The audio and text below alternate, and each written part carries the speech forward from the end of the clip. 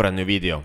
So, in this new video, uh, what I'm gonna show you is how we can uh, look for uh, creating data that contains a relationship.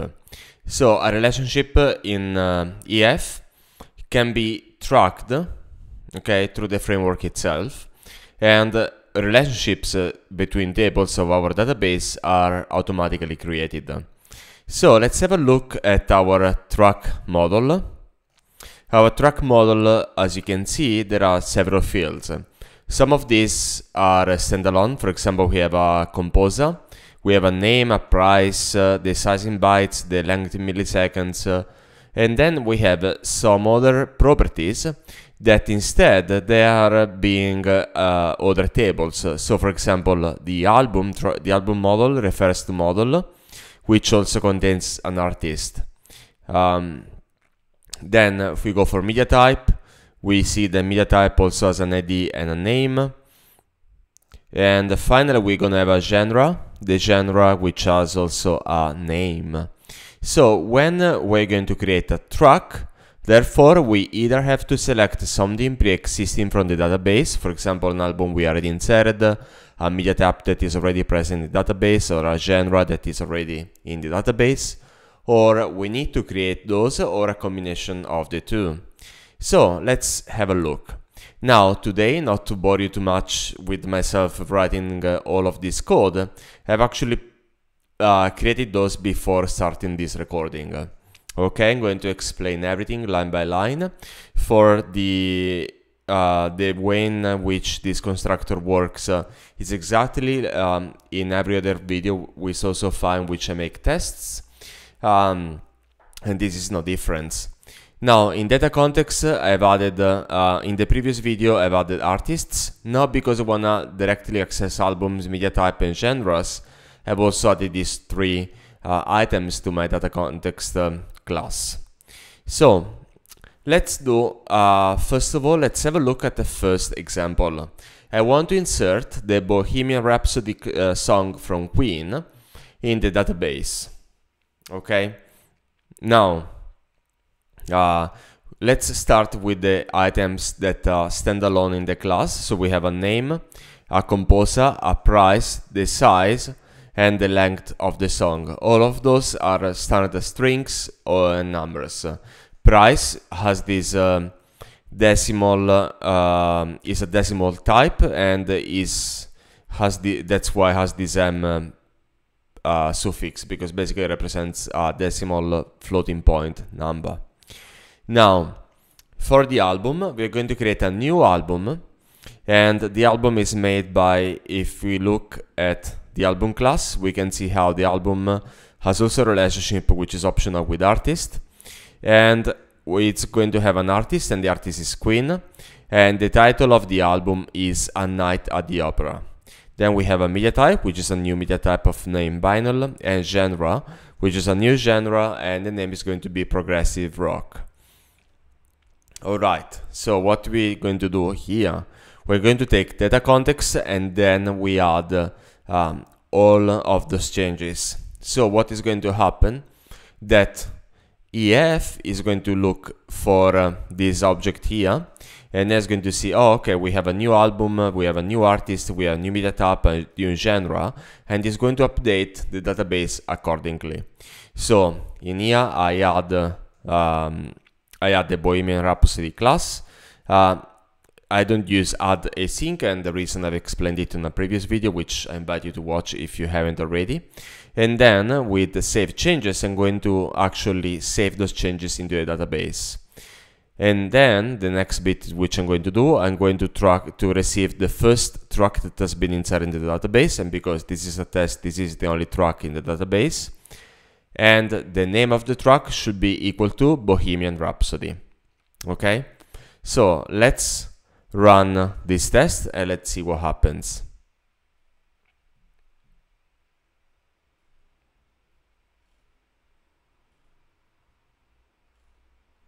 So as you can see, the test passed and a new track named Bohemian Rhapsody has been inserted.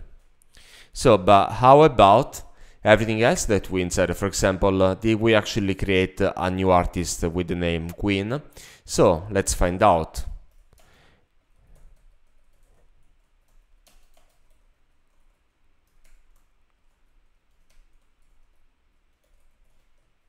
So here I'm retrieving the first artist that I've inserted and should be equal to queen. So now we're gonna do expected queen dot name dot should equal to queen. At the same way, if I actually receive uh, the album, the only album in database, should be titled A Night at the Opera and the artist royalty should be Queen. So let's add those ones as well. So we can actually move um, all of those above this line. So we have a track, the expected uh, Queen. Maybe I should uh, rename this into uh, expected artist. Then we can have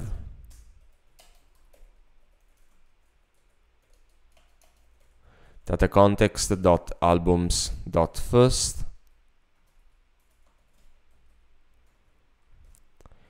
And here we say that the artist should be queen and then expected album dot title should equal uh, a night at the opera. And then expected album dot artist dot name should equal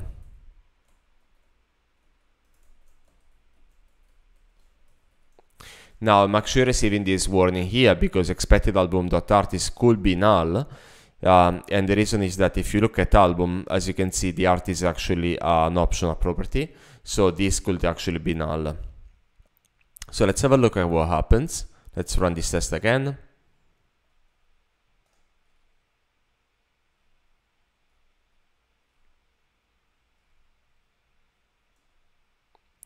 And as you can see, all of this data has been saved um, correctly.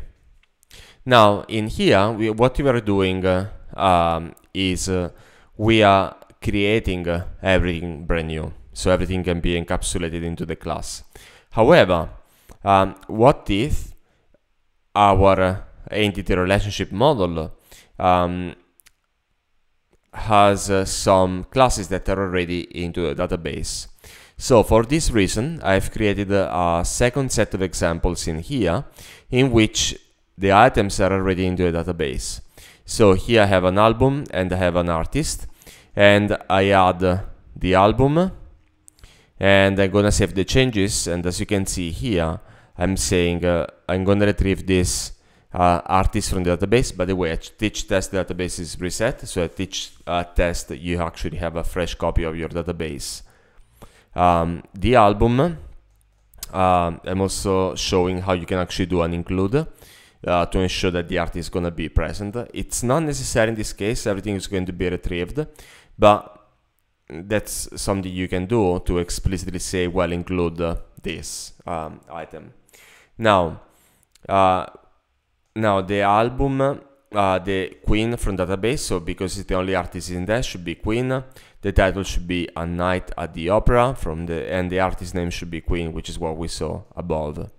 Then here I have a, a vinyl for the media type and the genre progressive rock. I add those and save the changes into the database. And then I'm going to check that those items are actually what are expected in the database. Finally, I can actually create uh, my new track However, there is a difference. The album from database, as you can see, it actually refers to album from DB, and album from DB is this one. It's a night at the opera, and the artist is Queen. All right. So what is happening? Is happening that once I save the, the track, um, entity framework is going to say, okay, this is the album, this is the media type, this is the genre, and it's going to handle the relationship for us. So that when I go back and I say, give me the first track in the database, the, I'm sure that the track name is going to be Bohemian Rhapsody. I'm sure that the album associated with the um, title is going to be A Night of the Opera. um, and that the name of the album is going to be Queen. Okay, so let's have a look and then let's talk a little bit about this. I'm gonna run the test.